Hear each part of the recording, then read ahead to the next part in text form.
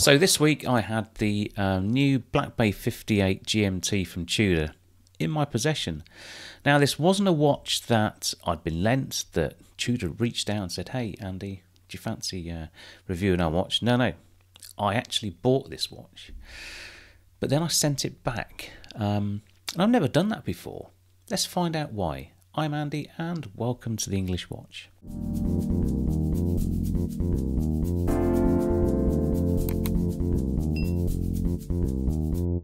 Now, this channel is about me and my watch collecting journey, an amateur enthusiast with an eye for detail, helping like minded individuals like you start your watch collecting journey. Now, if you like this video, why not give it a thumbs up? And whilst you're there, why not subscribe? Before we get into it, today I'm wearing my JLC Master Ultra Thin Moonphase. And I did have it on a, a blue ostrich strap. I'll put it back on the black leather strap. I have to say, move that out of the way. This thing goes with, I think it's pretty versatile. Goes with it goes with most things that I wear. Um, maybe not shorts and a t-shirt, but uh, now we're getting into the, the more autumnal uh, feel of things. I can wear sort of shirts and long trousers, and yeah, the JLC sort of coming back into its own.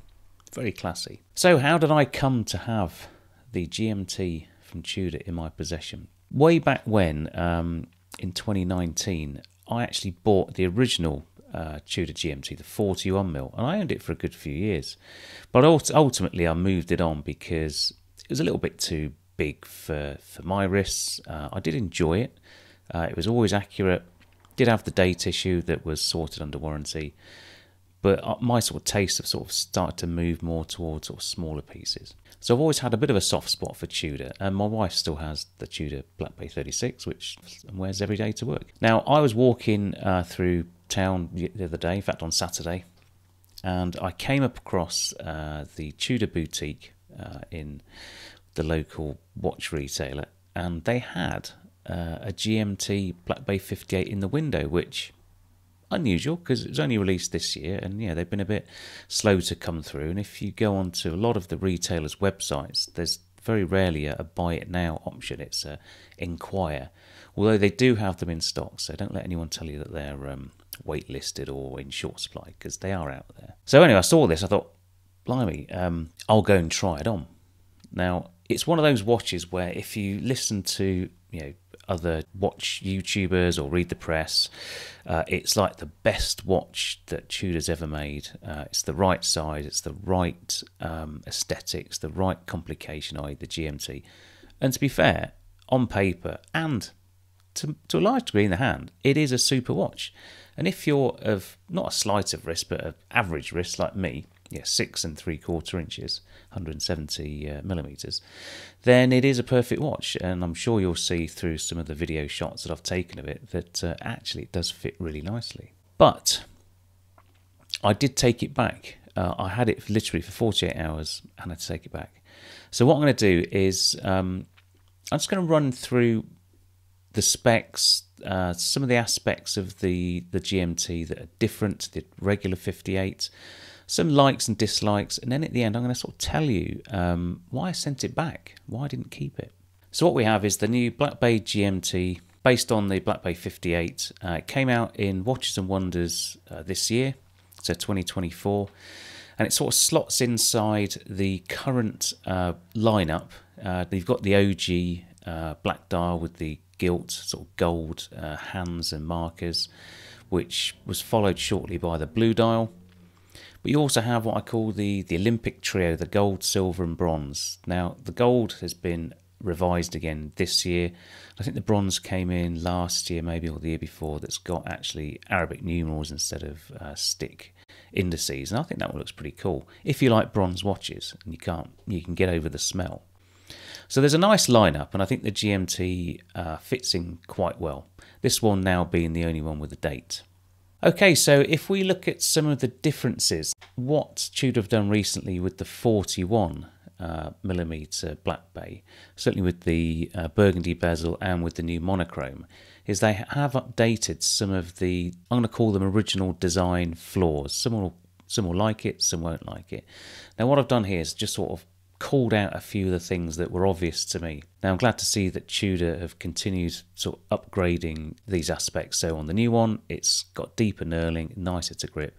And similarly with the crown, so although it doesn't have the crown tube that makes the crown stick out, it's also shrunk the crown down a little bit so it's a bit thinner but the knurling again is a bit deeper. I'd say it's a bit too small, so it's quite difficult to, to, to pull out and, and wind, but you know, it's it's it's acceptable. Now, one of the other things that I noticed that immediately was the the text uh, at six o'clock. So normally you'd have the depth rating, chronometer officially certified, but now you've just got GMT master chronometer. Now, I think this isn't as good. I think the symmetry of the three stacked text is lacking. So the GMT is quite a short bit of text, and then master chronometer is quite a long bit of text.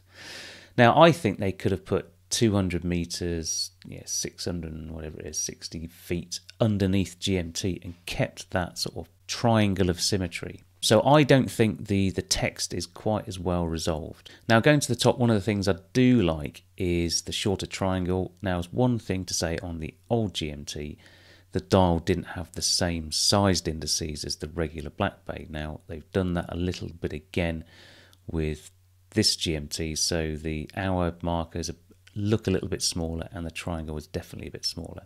So those things don't bother me at all. I think, in fact, I think overall the dial looks pretty nice and clean. Now, getting into the specs, so it is a Black Bay 58 and the case size is pretty much the same as the original case. Now, this is reference 7939 G1A0NRU. Now, this is newly released 2024 and it's currently retailing for £3,960. At the moment, there's no discounts available on this model because it's new and although not waitlisted, they are short in supply. Now, case diameter at 39 millimeters, really nice. Lug to lug, really nice for me, 47.8 millimeters. So, really, really nice uh, dimensions. Thickness wise, 12.8 now, this is a millimetre or so less than the Black Bay Pro, which is a similar sized GMT, but is much thicker now. Whether that's down to the case design or the movement, not too sure. Um, but this one does feel nicer on the wrist. So lug width is 20 millimeters, so lots of aftermarket options available. Water resistance, as we said, 200 meters. So now looking at it on my wrist, uh, as I said, I've got a six and three quarter inch wrist. It fits perfectly. You know, across the top. Um, yeah, my wrist is pretty flat. I, I, thought this felt really nice, and that's part of the reason why I bought it. Sometimes you put the watch on and you just it just feels right. Now the dial is the typical Black Bay sort of matte finish uh, with the sort of gilt uh, indices and hands. Uh, and that gilt lettering, so it all matches quite nicely, and around the bezel as well, so it's all matched. I thought it was a little bit too much, uh, and me personally, I'd have preferred the GMT hand to be in a different colour. I think it it's all a bit too much gold for me. Now, what Tudor does have is pretty good luminosity, so it's got its own super luminova. It doesn't have the Chromalight that Rolex uses. This is a green rather than the blue luminosity, but it's bright nonetheless. So as this is a GMT, it's a proper traveller's GMT, so it has got the jumping hour hand. So when you pull the crown out to the first notch, you can spin the hour hand round, change the date forwards and backwards yeah, to your local time.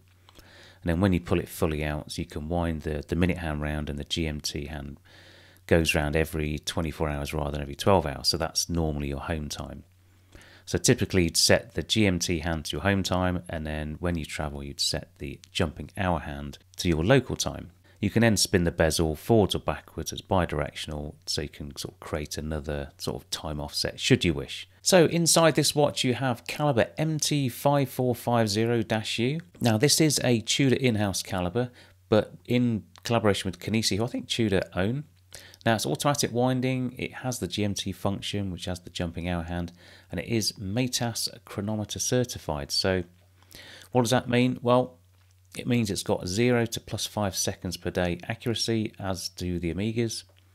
Uh, it's tested to 15,000 Gauss magnetic fields, and it's tested over a number of different uh, aspects, including sort of waterproofness, anti-magnetism, etc., etc. So it's got quite a high level of testing to to get the METAS certification, and that's all done cased up as well. So that's not just the movement; that's the full watch. Now, being a GMT, this does have the bi-coloured bezel, so not the blue and red as in the original or Pepsi. This is a black and red, so a Coke version. Now, the red and I'm going to say the black are pretty shiny. Uh, they're not matte like the original GMT. And I don't know if I like that. I don't dislike it, but I think the shininess of the bezel and the shininess of the gilt markers didn't play right for me. But, you know, maybe in time these are things that, that, that actually make it stand out. Now, this doesn't have a ceramic bezel insert, it's aluminium with printed markers, so over time you can expect it to fade and it will scratch up, but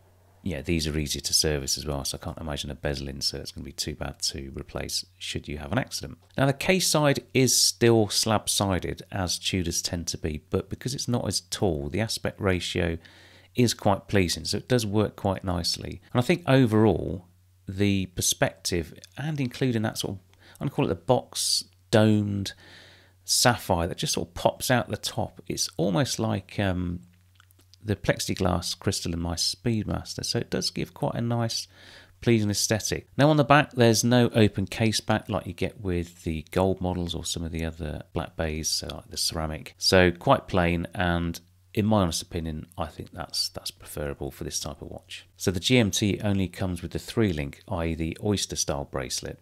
Now I'm calling it Oyster. I know Rolex have the, the Oyster and the Jubilee. These are just called three link and five link bracelets, but they're pretty much the same. You know what you're getting, and it's pretty good. It does have the fake rivets down the side, which not everyone likes, but hey, I don't mind it. And it does have the new Tudor clasp, and it has the T-fit sliding adjustment. So it does have, I think it's about eight millimeters of adjustment. Now, what I found um, I think the links are about 12 millimeters and the, the adjustment's about 8 millimeters. Again, I forgot to write the measurements down, but I I was just on the limit of the T fit. I, I could have done with an extra half link, so the T fit could have been halfway down. So I've got movement either way. I think if I'd have kept the watch, I would have had to have gone to uh, Uncle Seiko or whatever his name is these days and bought one of those Tudor half links to size it correctly because I I was between. Uh, there wasn't quite enough T-fit slide, and the links were a little bit too big. So yeah, it's just something to look out for. But there is a solution. I guess that's the uh, the answer. I guess what you're asking is, um, why did I get rid of it? Well, I love the watch. Now, one thing I've got to stop doing is taking my wife shopping. Now, she was doing something. I went in the Tudor boutique, sat down. Oh, let's try the watch on. And then she comes in. He's like, "Oh, that's lovely. Oh, yeah, it fits you really nice. Why don't you buy it?" Now I know what you're saying. My wife never says that. Well, I wish mine didn't. I mean, I've not bought watches when she said, "Do it, do it, do it," um, because you've got to restrain yourself. Uh, and these are expensive pieces. You know, you can't just keep buying stuff. But in this instance, I did actually like it. It had great wrist presence. It felt good. First glance, it looked good, and I thought, yeah, do you know what? I'm going to buy it. Sod it. It was three thousand nine hundred sixty pounds. It's still a lot of money, but for the price and what you're getting, I think the package is really compelling. And I think if it's a first watch or one of those only watch, I think just go and buy it. Just do it. It's fantastic. But then I brought it home. And what I did is I compared it with my other watches in my Mirage luxury travel case. Uh, and I'll do a bit of a state of the collection at some point, but I started to think, where does this watch fit in? Now you can just buy watches. Some people do. They just buy them. They sort of collect watches. Now, I remember the, the lady in the booth said, "Oh, do you collect?" I said, "Well, I've got some watches. Uh, I'm not a collector because I always think collectors have got a bit of a theme to their collection, be it Speedies or Rolexes or whatever it is. I just buy stuff I like, um, but I like my watches to have meaning and purpose. So I could wear it with this or that. Uh, there's not too much overlap. There's always going to be some overlap, but um, yeah, when I compared the Tudor to my other watches, there was two things that struck me. Firstly, um, it didn't really offer anything over and above the Seiko, like Grand Seiko Quartz GMT, which 39 millimeters, GMT. The dial on this, the handset on this, is far and above better quality uh, than the Tudor. Now, this one was under three grand. Okay, it's a quartz, but it's a bloody good quartz. Uh, and I couldn't square it off. Now, and the other thing was that I felt that it cheapened my collection. Bear with me. I, I'm. I felt that it again. Someone in my position, my age, where I am in my journey at the moment, I'm looking to level up a little bit, um, consolidate, level up, not just keep buying stuff. And if I keep buying stuff, I can't level up because I'm spending money on things I don't really need, which is never a good idea in any situation. So I had a long stare at it for a day, compared it with the other watches, tried my other watches on, and I thought, as nice as this watch is, and as much as I would recommend it to anyone, seriously, it's just not for me. It doesn't fit in my collection. And for that reason alone, I had to take it back. And I, I apologise. Said, Look, I've never taken a watch back before, um, but I've now reached a point where um, there's maybe one or two left to buy. Um, then I'm done, he says. Uh, and this isn't one of them. Maybe next year when my son graduates from university, maybe if I'm feeling generous, I'll buy that kind of thing then. Not for full price, though, that's for sure. Um, but today, with the collection I've had, that I have, it doesn't work. So, so that was it. That was me. So I'd be really interested to find out what you guys think of the new Tudor Black Bay GMT uh, 58, Black Bay 58 GMT, yeah, uh, and what your experiences is. Have you seen them in the shop window? I've only seen one in the shop window, and I bought it and then regretted it. But the good news is, uh, you can take stuff back. Yeah, there's a 30 day no quibble guarantee. Didn't take any of the stickers off. Uh, no harm, no foul. Uh, it was just a little bit embarrassing. Such is life. When you've had kids, embarrassment gone. Yeah, there's no shame left in the world. So we're really interested to hear what you've got to say. Anyway, I'm Andy. This has been the English Watch. Take care, and I'll see you soon. Bye for now.